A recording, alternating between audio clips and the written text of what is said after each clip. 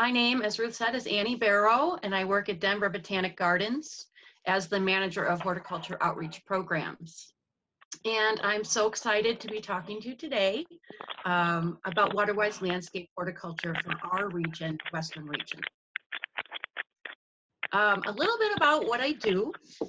Uh, basically, my job is to educate, promote, and assist um, in the achievement of Waterwise landscaping um, by consulting on plant selection, by talking about horticultural practices and maintenance, and irrigation. Um, and I do this for both public and private sector. So I work with municipalities and parks departments, but I also work with landscape architects. And then obviously, um, it's important at the gardens for us to reach out to our community members and do um, lecture series like this um, with the city of Greeley.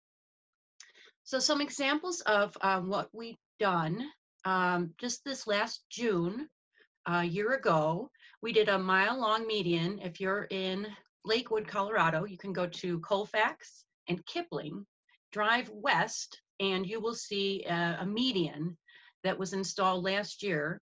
And our goal there is to turn the irrigation completely off in three years. The plants we put in there should be able to thrive and survive with no supplemental water on a regular basis. Um, the same idea was done in Greenwood Village, and that is actually uh, was just put in this season. We did three miles long of a median um, down by 25 all the way out to University. So um, in those instances, we worked with the cities.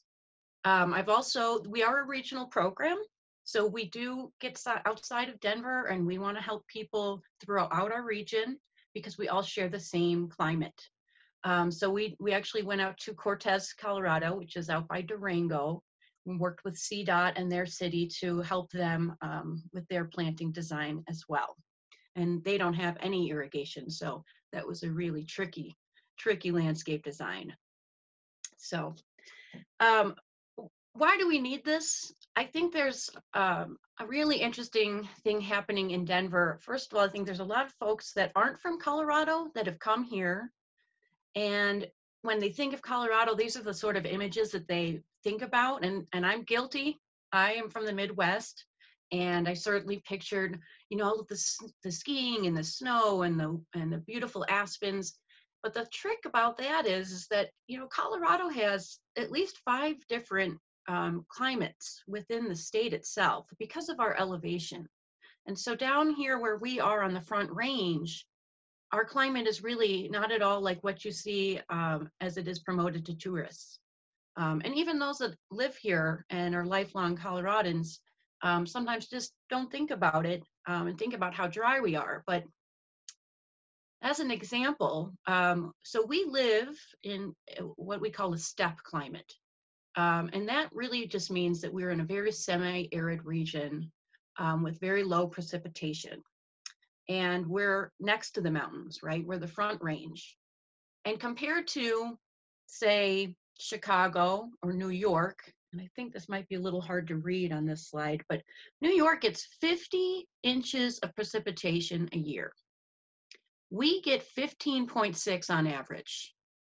That is a really big difference. And so, you know, we really need to think about how, if we got five inches less, we'd be actually in an arid environment, also known as a desert. That would be Tucson. Eight to 10 inches of rain is a desert climate, an arid climate. So we are in a semi-arid region. And so we need to really practice water conservation because it is a rare, it's a resource out here that's limited. And also, um, there's a couple other things about being in a steppe climate that make us unique. So we are technically a zone five. Um, Horticultural zones are determined by the lowest and the coldest temperature that a plant can withstand without, um, without dying. So we are a zone five, and I went to school in Purdue, uh, Purdue University in Indiana, and worked in Chicago for some time, and they're a zone five too. But I'll tell you how different the, uh, the gardening practices are. Um, out here in the steppe, out here out west, we get very little precipitation, but it's also extremely dry. It's not nearly as humid as it is um, in, in the Midwest or the East Coast. we're much higher up in elevation, so the UV is really intense on our plants. Um, as we've just uh, experienced, I think on Monday it was 35 degrees, so we get really wide temperature swings, both during the summer, spring, and even in winter, where we have days that reach above 40, well above 40.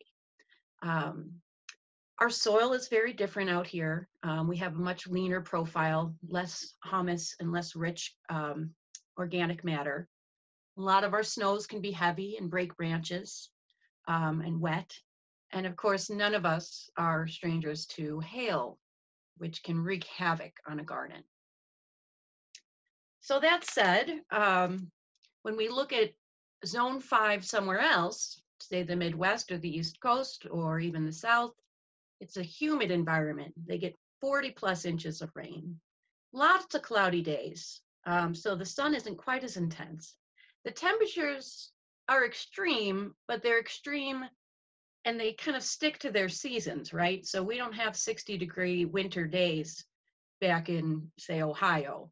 Um, and then the soil is, is very, very different makeup because it's forested land. So there's a lot of plant debris that gets recycled into the soil, and the soil is very rich and humus uh, fill. So all zone five plants are not created equal is the bottom line there.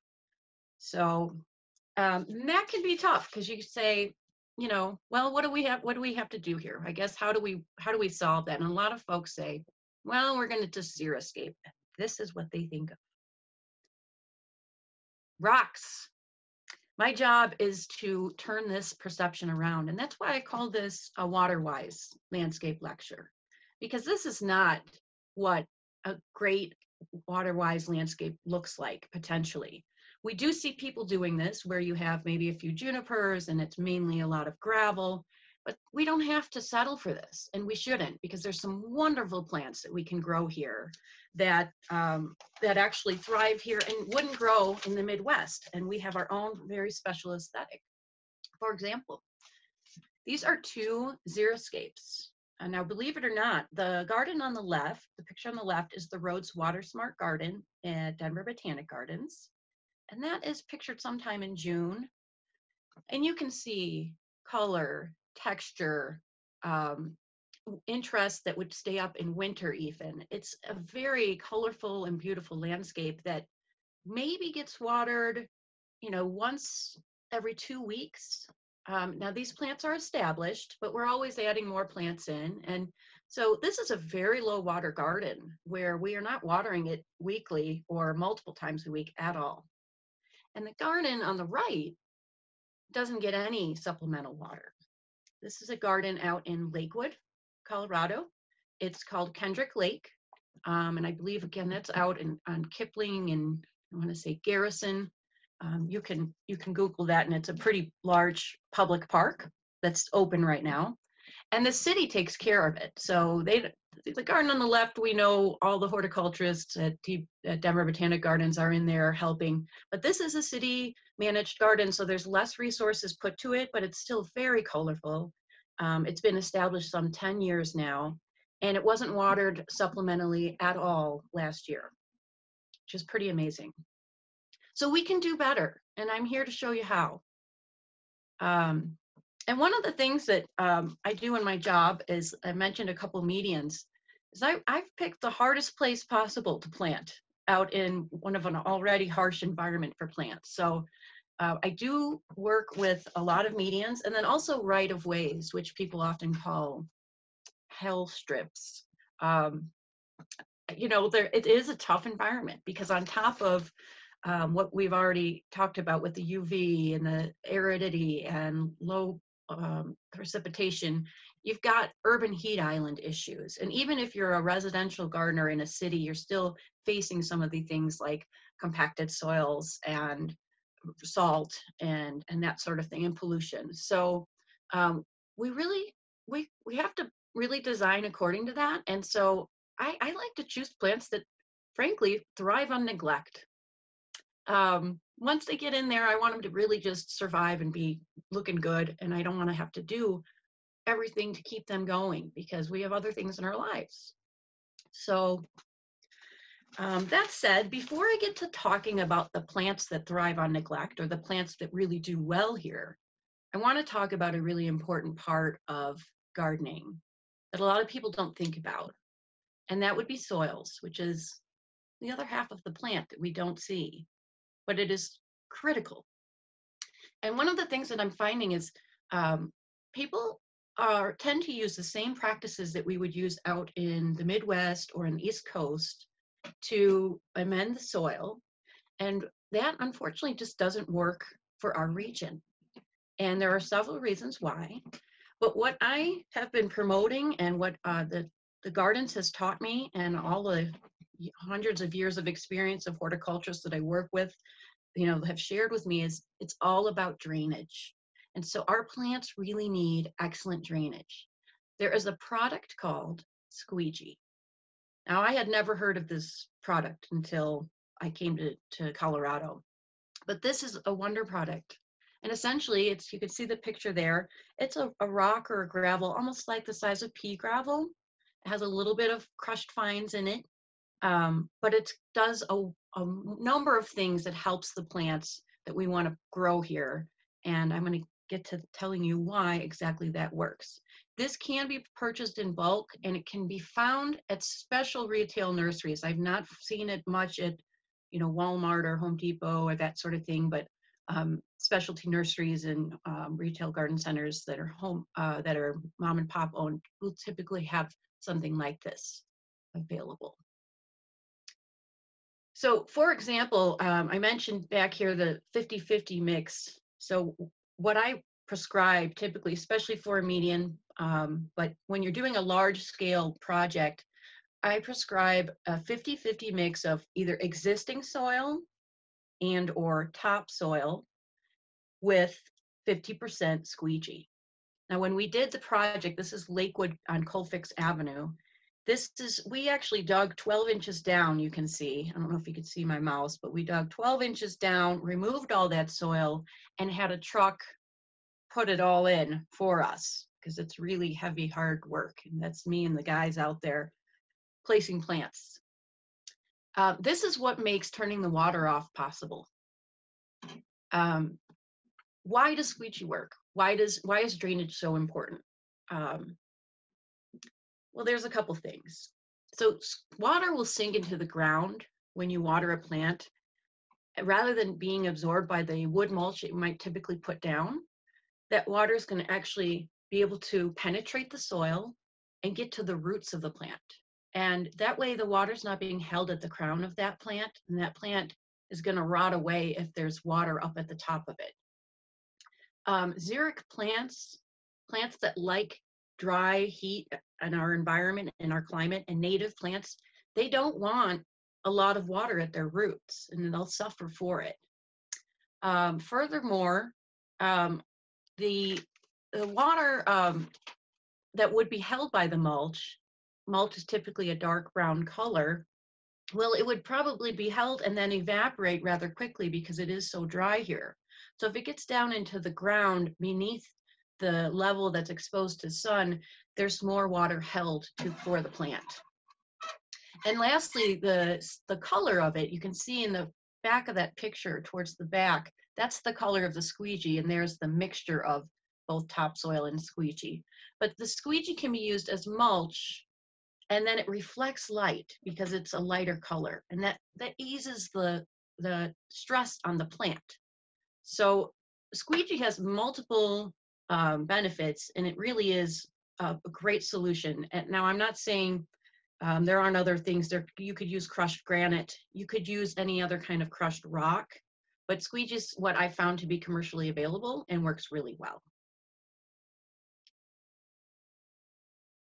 And here you can see, um, we want to mimic what's happening in our environment. And on the left here, we see a penstemon, penstemon cobaea. And you can see from that picture how rocky the soil is. This is just out in the natural setting. And on the right, that's a cultivated version of a penstemon. That's coral baby penstemon. But you can see that it's been mulched with rock and it's a very happy plant. So really all we're doing is just listening and paying attention to what's really happening and working naturally in our area. And instead of fighting what we have, we're working with it. Instead of trying to change the soil to be rich and deep and, and have lots of water in our gardens, we can work with what we're, we've been given. So um, I think that's really important that we, we mimic what we see in nature. Now, one thing, um, I'm going to get to talking about some plants here. Um, one thing that's really cool about being out west is uh, self-sowing is actual uh, is, is, an actual possibility out here. Um, as I said, I landscaped in Chicago for about 10 years, and you couldn't get something to self-sow because it was so wet and moist, and things would rot out. The seedling would rot out. But here, there's a lot of really nice plants that will um, self-sow in your garden and that are native and not invasive. Um, and they also, they, they fill a spot. If you have a plant die and you say plant Rocky Mountain penstemon and it self-sows, it can fill that spot where maybe another plant didn't do so well. But moreover, that plant, it knows where it wants to grow and it knows where the seed takes is where it's going to be happy. So you know, you know that it's already like ensured success for that plant. Um, from the top left to right, we're looking at moon carrot. Um, this is a plant select plant I'll talk about in detail a little bit later. This middle one is Ratibida, which is a native plant um, that self-sows. On the right, the ball, the purple balls, that's an allium or an, an, ornamental onion, and there are many different varieties of those. Some are um, hybridized, so they are uh, sterile. Others do self-sow and can be um, aggressive. So you want to think about if you are going to use plants that self-sow, you have to think about where you're putting that plant and where it might sow. Um, down here on the left is the Rocky Mountain penstemon, which is a native. Um, so, and then we've got uh, a poppy here in the center. And all of these plants are really pollinator friendly too, which is another advantage. And then on the far right here, we're looking at a columbine, which is, of course, our state flower. So just some thoughts on using some some plants that are really easy and will take it dry and um, make their way into your garden. This is that moon carrot here that we saw back here. Um, this is a plant select plant, and I'm going to talk to you a little bit about plant select. I know um, Ruth mentioned Ross Shrigley is going to speak to um, plant select. He's the executive director of that program, and he'll tell you all, all the more about it, but I've got some plant select um, information to share with you today too. So really cool plant here, um, really nice pale um, sort of turquoise leaf, almost looks like the carrot um, foliage. Um, and it's got a beautiful pink and white flower. Now this is a biennial, so you will not get a flower in it the first year. Um, but this is something that I have in my garden and I let sow. It is non-invasive. Here's a couple of onions or alliums and a lot of people are familiar with the large, large-headed allium. I think it's called um, just the giant. Um, that one really seeds a lot, um, and it can be a bit aggressive. So if you like gardening, you don't mind being out there and pulling what you don't want. That's a good plant. But there's a new uh, plant, perennial plant of the year called Allium millennium, and that is a hybrid, so it wouldn't self-sow if you didn't want it to. And then we've got uh, the drumstick allium here in the middle, that's a totally different uh, species. So it's Allium sphaerocephalum. And then on the far right is a really cool plant. Um, it is Allium altaicum, much harder to find in the industry, but you can come see it at our Steppe garden as it's from South Africa. So we talked about zone five being different out here and back um, in, you know, East side of the country.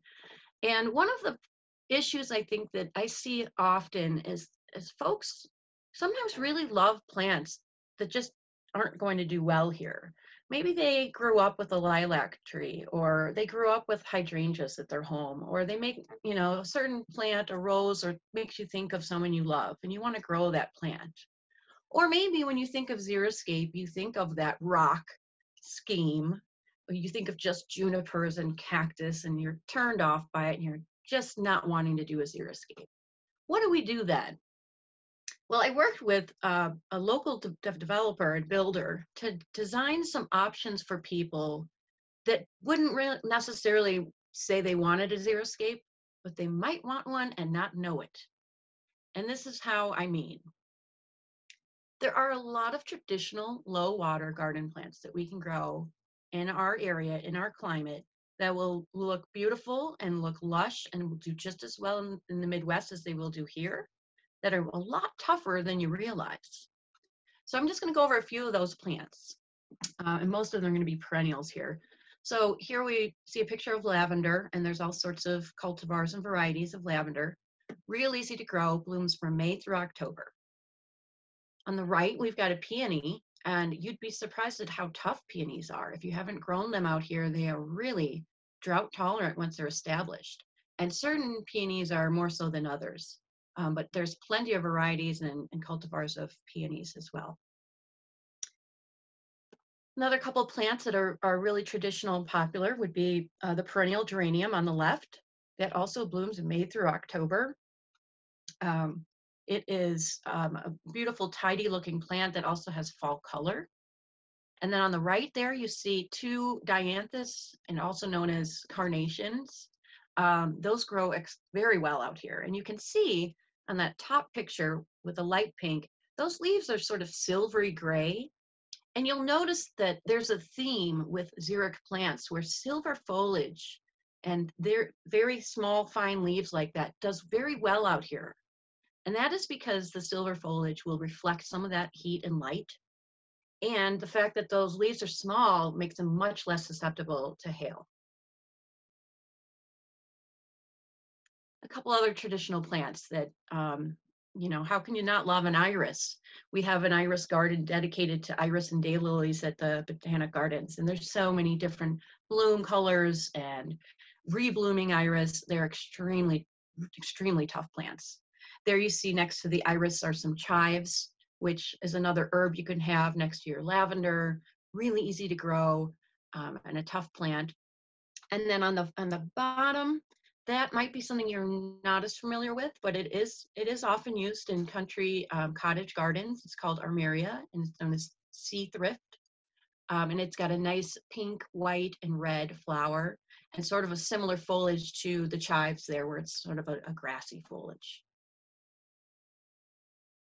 Uh, a few more here. Coreopsis does excellent out here, and it's a very traditional garden plant that you would see in, in most uh, English gardens and borders.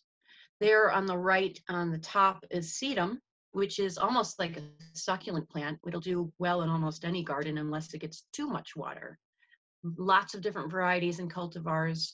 You can get them where they stand up tall to be 18 to 24 inches, and you can get sedum where it's just a ground cover and it's only four inches tall. Then the plant in front of that there, you you may not may, may know this plant. It's very common around here. It's it's lamb's ear, but its its genus is called Stachys. And that genus has actually uh, got a ton of different species that are really wonderful.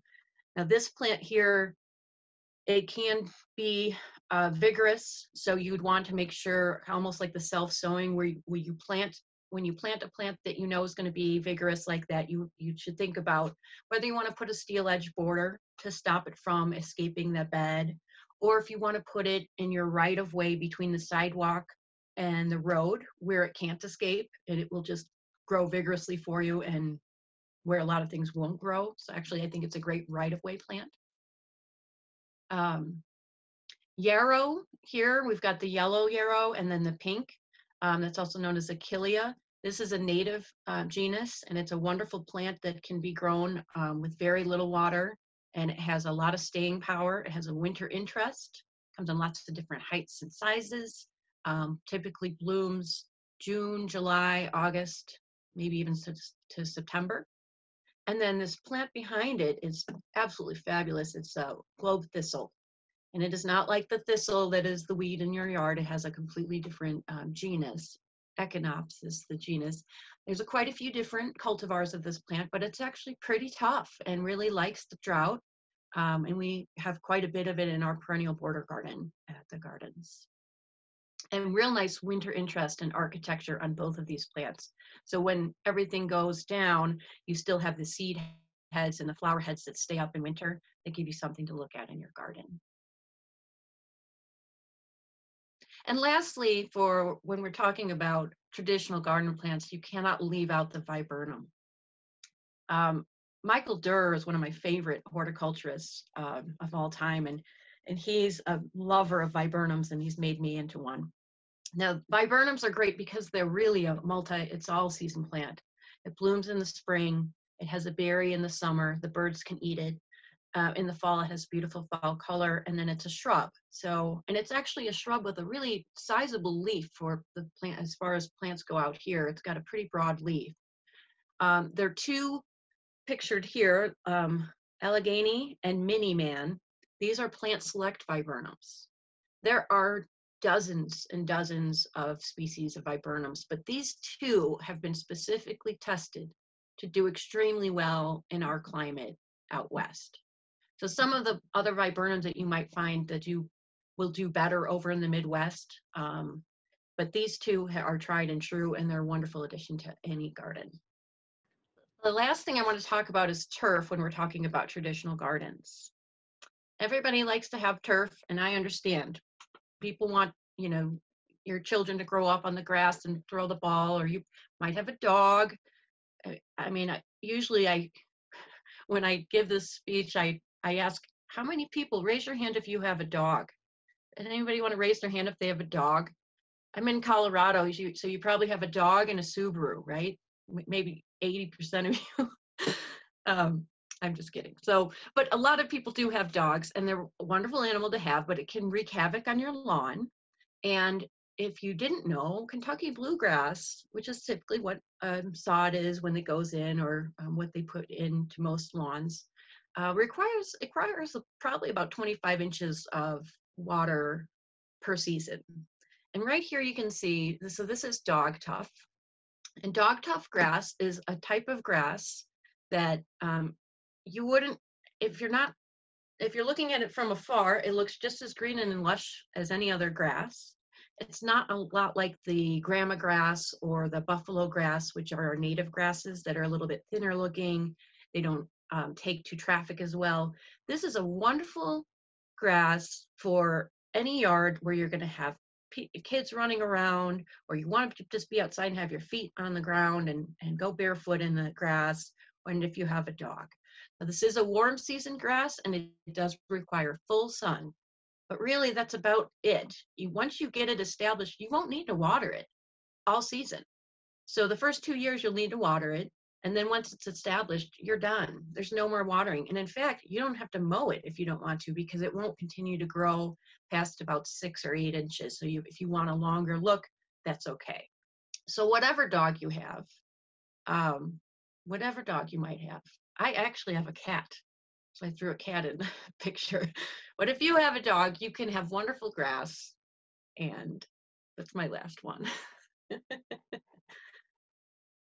and this is really you know this is really where we i'd like to see folks think about using dog tuff is in these very urban areas where we all want to take our dogs out for a walk and we may not want to go to the dog park so we'll just walk around or we'll go to the grocery store with our dog and and then what happens is you know things the existing turf ends up looking like in this picture as it does and it's just and it won't recover.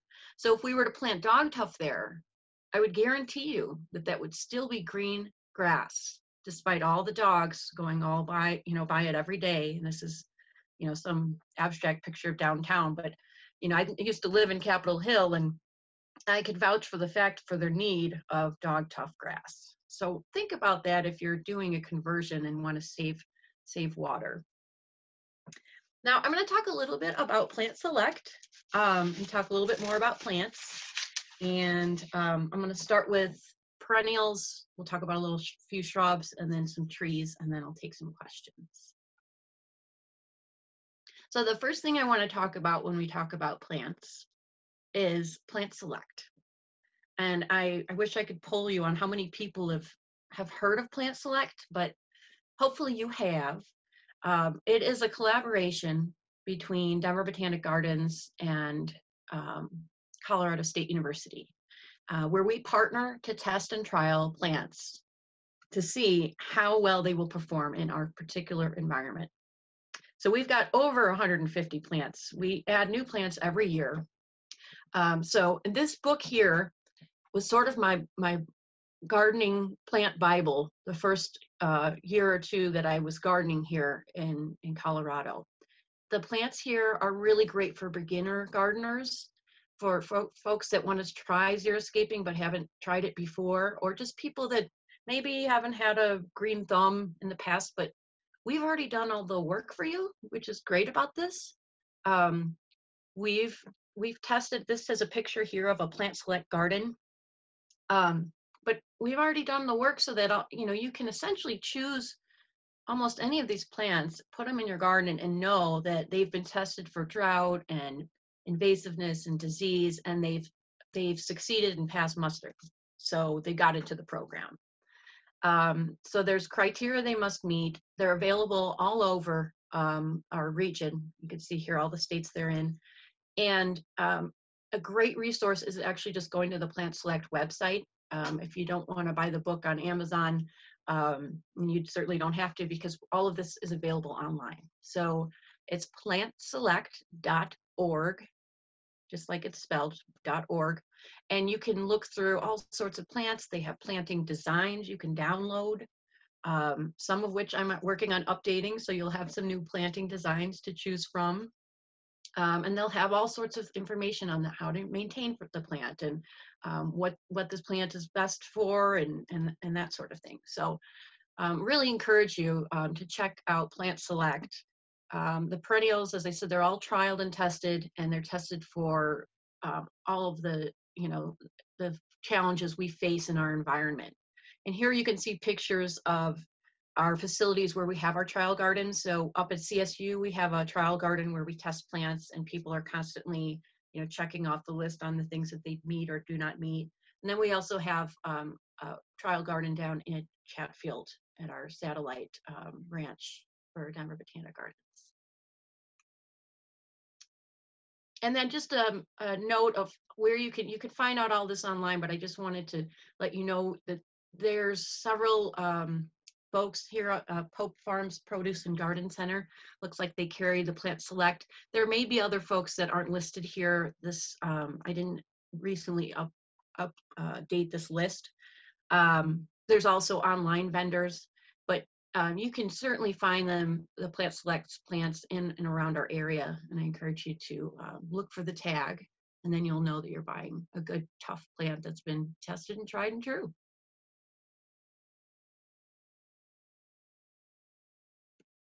So um, one one thing that I guess is a bit of a pet peeve of mine is when I see folks planting things that have been overplanted, that have just been 20 years, they're always on the plant list. You know, they're always in the garden. Um, and these plants, that that's okay for the places where they don't need extra water, but here these plants do need water. So here I'm showing you a Stella de Oro daylily. Daylilies are okay, and, and some of them are actually tougher than others, but this is just a yellow flowering plant that blooms all summer. And here's another yellow flowering plant that blooms all summer. It's Rudbeckia. It's probably Goldsturm, I think is a picture of, which is um, uh, uh, Black-Eyed Susan, sorry. Uh, Black-Eyed Susan. These are two plants that are often used in, in gardens. And I wanna, I wanna inform you that there are some great alternatives that require much less water much less maintenance. You don't have to amend the soil, and they still give you a yellow bloom all through the season. So a daylily, that Stella de Oro, will bloom from late May or early June through October, and the uh, Rudbeckia and or uh, Black-Eyed Susan will bloom in July, August, September. So just a few plants that you could use instead. Um, how about, this is another Black-Eyed Susan um, that is an annual but it will reseed. And this is a plant select plant. And you can see it looks very much like this, but much more tolerant of drought. Here's another plant through Plant Select. It's called the chocolate flower. Awesome plant. Smells like chocolate. Who wouldn't love this plant? I love it. Um, a, a nonstop bloomer, May through October. Um, Engelmann's daisy. This is an industrial strength plant. It is so tough you couldn't kill it if you tried. I mean, I'm not saying that it's invasive, but it really is. It's a native native to Colorado. So uh, and it blooms longer than the um, Rudbeckia does. So that's a, I believe it's a May through October, and it's about 24 inches tall. Oops. Then then you've got the Ratibida, which is our native um, native plant here. Um, I can't recall the common name. And then Denver Gold Columbine, that's a plant select plant. And this is a nonstop bloomer that's much tougher than than I ever realized. I've used it in many a garden plantings. So all great yellow plants blooming all season long, and they're plants that like drought and, and actually thrive here. So consider subbing out some of maybe your old favorites or um, maybe common recommendations for something like some of these plants. Oops. Oops, here we go. Okay, uh, a couple more plant select plants. So um, one thing, uh, plant I really love is the Agastache or the hyssop plant.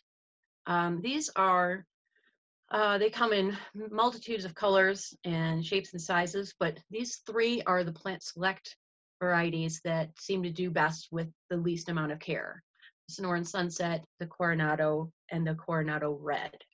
Um, these are all in the mint family, and the mint family tends to do very well out here and, and thrives in drought conditions. If you've ever grown mint, you can vouch for that. Uh, mint can be what we like to call vigorous. Um, this, that's not to say that these plants are like mint, but um, you tend to see in that family that those plants find water when they need it. And this is just a wonderful um, plant for that. It also does have a, a nice fragrance um, and it blooms later in the summer. So late June, July to October. Um, really easy to care for once it's established, uh, very low water. Um, salvias are also in the mint family, and they do very well out here. Um, and you can tell a mint family plant, if you didn't know, you can take, take the stem of the plant and flip it around in your fingers, just roll it around and it'll have four sides. That's how you know it's in the mint family or the Lamiaceae family. Um, these are these are wonderful plants. These are all in the Plant Select program. Some salvias that you find on the market, like May Night, that's a hybrid plant. Um, so it's not as good of a pollinator plant. Um, it's also, you know, so it's sterile, it's, it's a hybrid. It's very common. These are more um, native plants. They attract, and so does the, the hyssop also attracts pollinators. Um, they have tubular flowers, which makes them very attractive to hummingbirds and moths and butterflies with the proboscis. Um, and they do come in a lot of colors and varieties. These are just six, but I believe there's eight to 10 of these uh, salvias that are available through Plant Select and otherwise. Uh, some are bloomers, some of them bloom a little bit later, just depends on the species you choose. I'm gonna jump out of the uh, Plant Select and just mention a couple other of the mint families. Um, because like I say, they just seem to do very well. Here, what you have on the upper left is the plant perennial plant of the year, which is Stachys. If you remember, we talked about lamb's ear.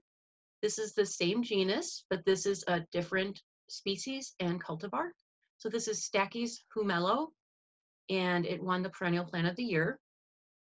Um, below that, with a, a, little pollinator flying by, that's our wild bergamot, Monarda, which is native to Colorado. Um, here in the middle looks like a salvia. On the far right is catmint, Nepeta. There is a Nepeta little Trudy that is in uh, the Plant Select program, but also many other catmints that will do. And here's a close-up of one of the um, hyssops or agastache. Um, I believe that is rupestris. So all of those are mint family plants and they all do really great and bloom for a long time and, and don't need a lot of water. The next plant family that I love, and this is, well, genus, I should say, is penstemon. And I, I sometimes think penstemon should be our state flower. Uh, columbine is our flower, but we have so many penstemon species. Um, the Rocky Mountain penstemon is one of my top favorites. It's absolutely tough um, but there's so many more to choose from. You can see all the color varieties. Um, they all like a rocky soil. They all require a lean soil. If you put compost on these plants, they're not they're not going to survive and they won't reseed. So um, truly, these plants I'm recommending are, are xeric, and they like a, a, dry and climate with lean soil. Um, these plants are tend tend to be short-lived, and they do tend to seed around. They need a, a bit of room in the garden. Um, you can see the picture um, up here, let's see, third from left, blue, uh, the Grand Mesa. It's got some space around it, and that plant really likes, um, it's like a rose where it needs air and flow, and it, it doesn't want to be crowded out by other plants and shaded. So when you plant that, keep that in mind. It's a great plant for maybe a right-of-way planting or um, along your sidewalk or an edge of edge of the uh, garden bed could be a good option for you. Okay. Oh, and they're great for high elevations. Although, so if you have your second mountain cabin home, you can plant some of those. I get asked a lot of questions about um, dry shade gardens. So I do want to just touch on that before I talk about some of the shrubs and trees. Um, so the dry shade, um, there there are quite a few things that will do very well, like say under under um, a Colorado spruce, or you know if you have a ponderosa pine or something like that, and you wanted to grow something under it, these are plants that will work. Um, uh, this is a Brunnera, and I want to say it's Siberian blue bugloss is the common name, but Brunnera you'll find um, commercially available. It has this wonderful um, silver and green leaf, and then a beautiful blue bell flower that comes on in the springtime. Very easy to grow. Um, heuchera here is this purple leafed plant. Sometimes in shade we get less flower, but we get more foliage. So this is a wonderful plant that comes in orange and yellow and purple and almost pinkish red. Lots of colors on the foliage and really tough, tough dry plant. Down beneath that heuchera is the galium or the sweet woodruff. And this is a real easy ground cover or again, underneath the spruce, it will actually take underneath the spruce. That can be a hard place to plant, but this is a winner for you. And then anemones happen to be one of my favorites. Uh, they're a pretty big flower. Um, they put on a good show. Their flowers are probably the size of your palm. Um, they come in a couple different colors. They're later bloomers, um, July, um, August, September, and they're a pretty sizable plant, so they'll be two to three feet tall um, and they tend to spread a little bit. So you want to give them a room or be able to um, split and divide them as needed. And then a couple more for shade and, and dry um, is Alchemilla, which is lady's mantle. Um, this is on the left here with the yellow bloom in the spring and this really nice palmate flower, or sorry, leaf. Um, I have this in my yard and it does great with no help at all. Uh, we talked about the geranium, perennial geranium being a very traditional plant. It will grow in sun, but it will also grow in shade. And this is a wonderful, uh, lots of different varieties of the perennial geranium. And then we have Mahonia, um, otherwise known as um, Berberis. I think it recently changed its genus name. Um, but this is uh, a native plant. Um, you'll find it in the sun and you'll find it in the shade. Um, there's a couple different species, but it has a wonderful blueberry and it is a broadleaf evergreen. So you've got some nice color in the winter. And sometimes if you go walking about uh, Red Rocks Park or nature areas, you'll see this plant growing along the trail. Um, so it's really tough and native to our environment. And then there's other cultivars that you can get that have, you know, showy ornamental features, but uh, a great plant for your garden. Um, so I want to talk about um, species and why it's important to think about um, if you are into native uh, gardening, native um, plantings, we want to think about um, what plants will work better for us here. So, um, and also for pollinators, a lot of our pollinators will like our native plants better than they would something that has been produced, hybridized, and cultivated everybody is probably familiar with echinacea or coneflower, purple coneflower, upper left here. But that's that species is purpurea, and the species native to our region is angustifolia. So echinacea angustifolia is going to have the same beautiful flower with the cone head, um, same flower time, same color, but it's going to be drought tolerant and easier to care for. So seems like a winner choice to me. Same with this Liatris spicata. Um, is most often uh, marketed, but we actually have Liatris punctata. And that plant, if you overwater it, it won't grow. So it actually just wants you to leave it alone, you can seed it and it will grow and not need any of your help. So you'll still get that beautiful columnar flower, but you won't have to, you know, water it every every week like you would these other two. So native species can be helpful, and some of the plant select um, plants are native species indeed. Um, but I'm going to kind of go off off of not just plant select. I'll throw in some more in a minute here, but here's another. Um, here's a shrub. Um, commonly, it's used as a small tree. Um, eh, this is an amelanchier, um, also known as a serviceberry. But you can see here the species is Utahensis, which obviously denotes that it is from Utah and therefore is very drought tolerant. But yet it still has, um, this is almost like the viburnum, it has the spring flower, the summer berry, and a beautiful fall color. And it's a woody plant, so it gives you some structure to your garden. So this is a really great, great plant to have, um, but it is a little bit more of a shrub than it is a tree. Um, if you were to buy um, uh, the the standard um, species autumn brilliance is the cultivar, it would be a larger tree, but it wouldn't be quite as drought tolerant. So think about maybe using the native species. Um, this again is that Mahonia and or berberis, as you will, um, for dry shade, but it also can take full sun. The picture of the Mahonia on the left is actually uh, Mahonia fremonti. It's very large.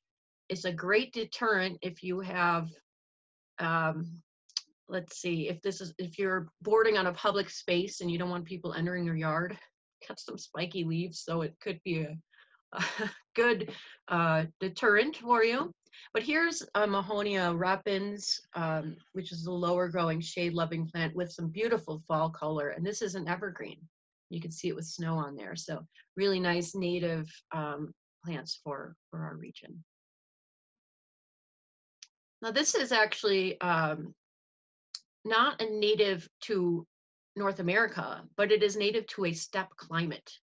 And this is through Plant Select. This is a Russian hawthorn. What we typically see is uh, winter king hawthorns or cultivated hawthorns that are um, either cross hybridized or um, of a different species. But the Crataegus ambigua or Russian hawthorn does extremely well here and shows the same ornamental value. So this would be a great tree for a right of way. You could plant this underneath if you do have wires. You'd have to check with your city and make sure it's approved plant list, but it's a beautiful small tree um, that you could plant for uh, summer, summer, spring flower rather, and summer berry. Nice fall color. Here's another steppe, um, native steppe plant, and this is the Ussurian pear um, very unknown. Uh, it can be difficult to find, but is totally worth it because what we're finding with emerald ash borer, if you have an ash tree, and even if you don't, I'm sure you've heard of the emerald ash borer. Before that, we had, um, you know, Dutch elm disease. And so when we start planting monocultures, we start um, suffering for it, and we see disease, um, you know, start to come at these things. So what this hasn't happened yet, and I, and I don't mean to in, imply that it will, but uh, Chanticleer pears and Bradford pears have been tremendously overused in the industry. They have a, a high probability of breaking because their limbs are so, um, you know, 30 degree angle or less sometimes, so they can really break in uh, heavy snows. This is a great alternative. This is the Ussurian pear Again, it has the same, the flower and the fall color, but you can see it's a lot bigger. So this is going to be a plant that you wouldn't you wouldn't expect you know the trunk to be rise above and then have the tree branch out. So this is a, a tree for your yard that would be really nice, but you'd still have that um, wonderful uh, spring bloom that pears give us. Now I am going to talk about maples. And I'm not trying to get on my soapbox, but I just can't stand seeing plants suffer. and I see maple suffer. And I think that uh, part of this is just uh, folks don't know. Um, maples in general, this is in general. Now, there are some maples that will do okay up in the mountains. We have a native maple that does well in higher elevations where we get more water and it's less um, less hot in the summer. Um, but when we try to plant things like sugar maples Um, uh, silver maples, there's a lot of them around here. They're really weak wooded, but they, they seem to have survived and are doing okay. But you know, sugar maples and, and Norway maples, they they truly, really and truly want the climate that we don't have. They want the exact opposite of what what Denver, what the West can provide. We have soils that are at least seven and a half in pH. No maple wants that kind of alkaline alkalinity, and they'll show um, chlorosis. So you'll see a lot of yellowing in the leaves. The drought is extremely difficult for these plants. They they grow in wetter conditions and with much richer soil as well. Typically, maples are in a forest, so the leaf litter lends itself to organic matter in the soil. And they, they aren't really great with pollution either. So when we add all those stresses and then throw on pollution and salt and that sort of thing, um, it's really just not good for this tree. You can have a maple in your yard. If you want to, if you want to work at it, you can definitely have that. You'll need to water it regularly for its life, for the lifetime of the plant or the tree. And you'll need to fix the soil and fertilize it. And that's that's okay, but when we start putting them out in places that we aren't caring for them and we're not giving them what they need, they are going to suffer and get sick and and decline. So if you're going to have a maple, be aware of these things and try and make uh, amendments to um, you know mediate some of the, the trouble that this tree is going to have out here. And furthermore, I'm going to switch back to Plant Select and recommend this maple, which is native. Uh, the Tartaricum is actually a native species to the Russian steppe. And this is a beautiful tree. What you're seeing here is the, uh, the Tartarian maple or the Hot Wings maple by Plant Select at Denver Botanic Gardens. And what's red there is the samara or the fruit here. So this is the fruiting body of the plant. And it really, that's what makes it the, sort of the hot wings and it, it shows out, stands out really well. And then it has a real nice fall color like all maples do. But this one is really tough and it does great in our environment. So if you're, if you're into maples and you want to have some and you don't want to do all the hard work, this is a great selection. Okay, I'm going to talk a little bit more about trees and then we'll take some questions. So trees can be really tough out here. Um, we, our natural environment is um, one that does not have trees unless you're along um, a waterway. You see cottonwoods growing along gulches and, and, streams and trees along rivers, but you don't really see them along the plains. So to understand that will help you understand why it's so important to pick the right trees because they're just, they're, they're very difficult to grow out here. This is a great tree, Gymnocladus dioicus Kentucky coffee tree. Um, one of the best trees for our environment. It actually likes chalk, which is alkaline, it likes drought, and it likes city conditions. So this is a no-brainer. I mean, these these plants, these trees are planted um, as number uh, top tree on Denver, City of Denver's forestry list to plant. So really great tree, full size, um, big shade tree for your yard would do well. A lot of folks want to plant um, aspens. These plants actually do a lot better um, higher up than both Denver and Greeley. We, we need a couple more thousand feet and then we can grow these okay. They don't like the heat. They don't like the intensity of the heat. They need more water and snow in the winter. But if you're going to get one, and if you really need need to have this plant, and I understand that, I'm a plant person, Prairie Gold has been proven to do reasonably well in the plains of Kansas. It's a little bit hard to acquire, but if you can find an aspen prairie gold, you might have better luck with that than any other aspen. Um, and, and then just a quick list, um, you know, realizing that trees are really going to be tough and you're going to need to water them and you're going to need to continue to water them until they're established. But some are better than others, and this is just a short, brief, um, certainly not exhaustive list of trees that, that seem to do pretty well out here based on a study that um, some folks did uh, both at the Denver Botanic Gardens and uh, through the city. We did a 60 year survey of all the trees, um, and some of these came back as the best performers over those 60 years. So have realistic expectations when you do plant a tree and understand that you'll need to really care for it, especially in that first three to five years. And if you plant the right one, you might be able to lay off a little bit after it's established. Okay, I feel like I've talked and talked. Um, so I'm gonna, I think I'm gonna wrap up here and just remind you that here's a couple gardens here that are sort of a Western aesthetic, right? You got some yuccas in here and um, some boulders and some low growing plants and some California poppies. This is a very Western aesthetic. And I think one mistake that we're making when we say, oh, it has to be a xeriscape and that means rock. I think I think we just need to embrace the plants that do well here, that others that can't grow back in Ohio or or you know Indiana or wherever you're from, let's use the plants that really do well to our advantage and leverage what we have and make our aesthetic unique to our, our region. So when you're designing and thinking about planting, be aware of the soils, be aware of our climate. Think about how we're also in an urban setting and that can be even more stressful for these plants. So the tougher they are for our climate, the better. Um, and think about, you know, prepping your soil and mulching just as it's just as important as selecting the right plant. And then knowing your plants. Um, plant select is great.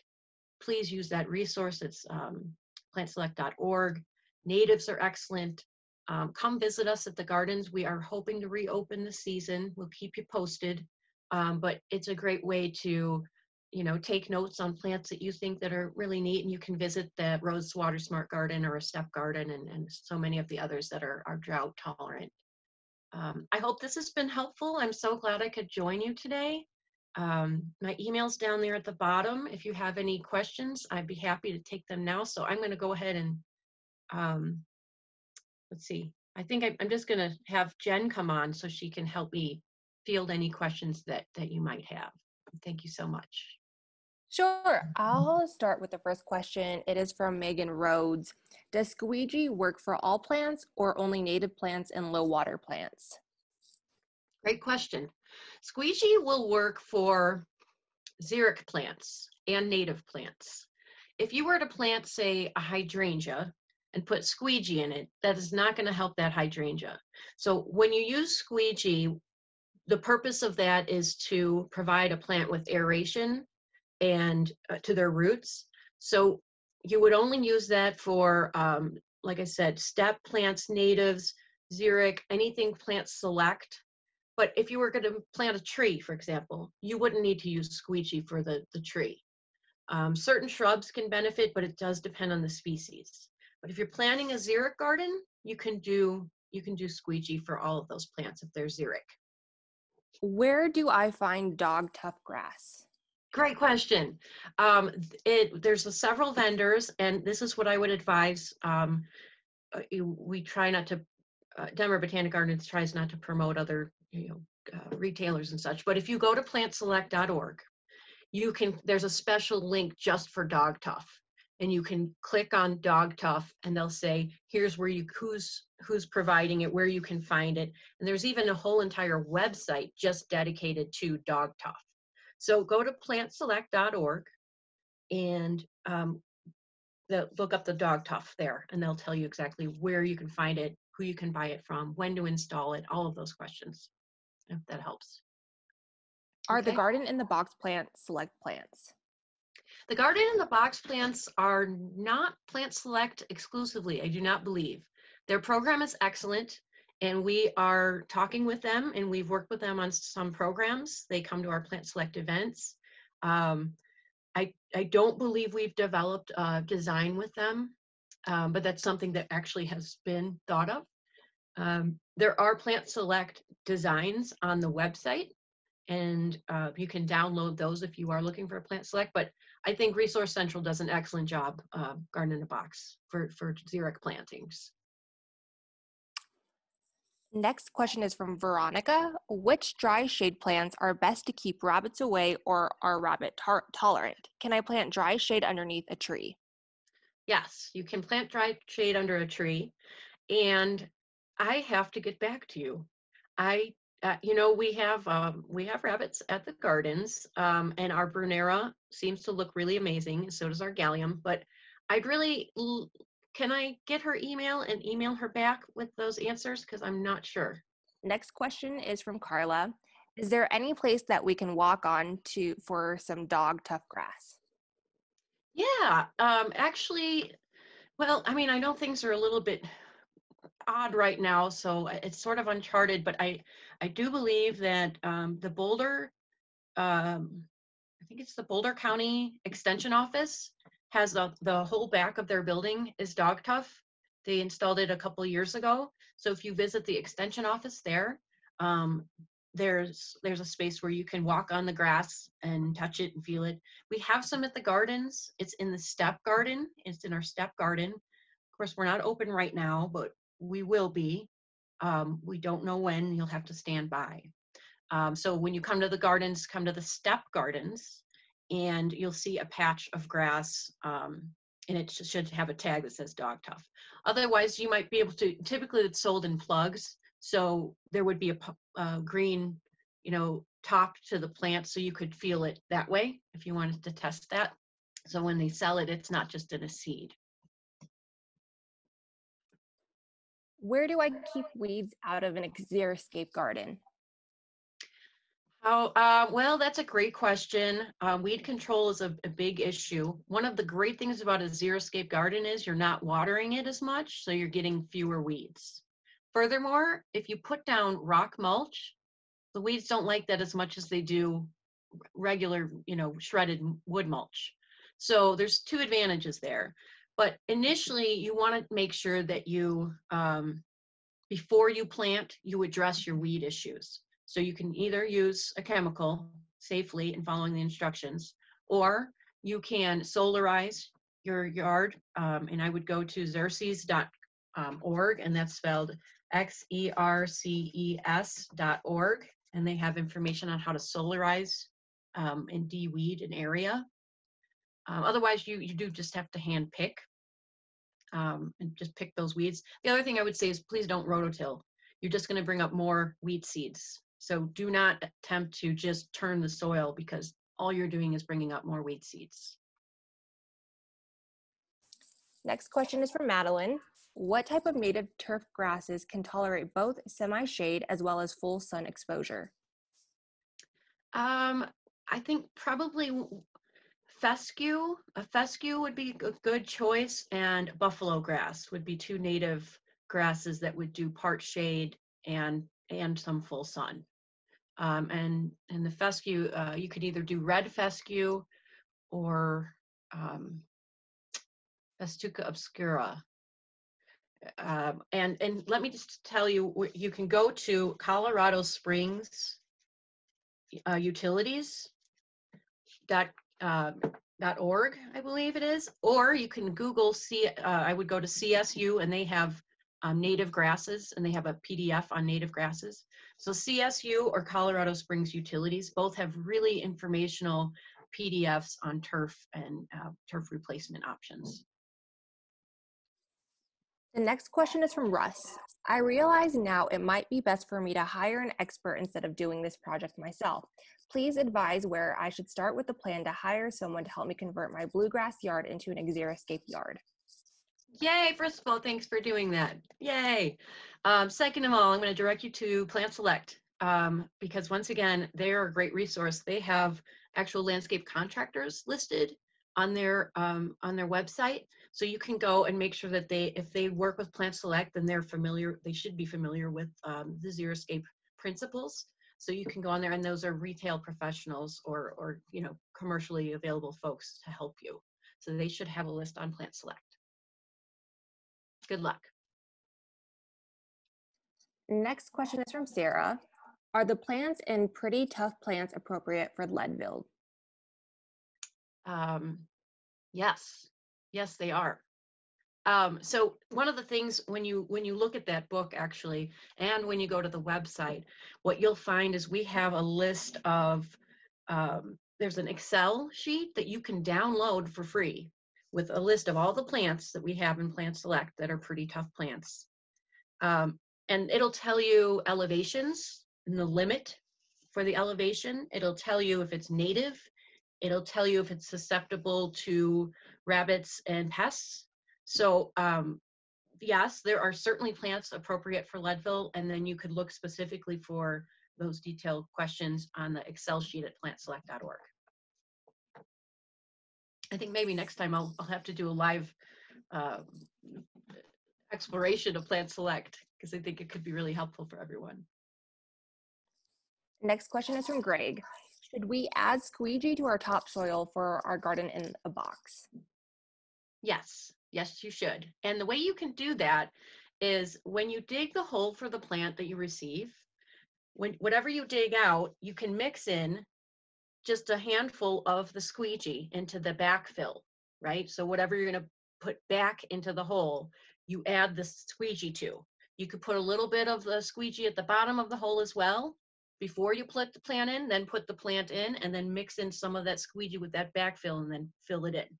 And then mulch that area with the squeegee on top with about one inch layer to stop the weeds. Next question is from Kaylin. I planted coronados the past two years and they haven't come back. Any thoughts on what might be the issue or a possible replacement?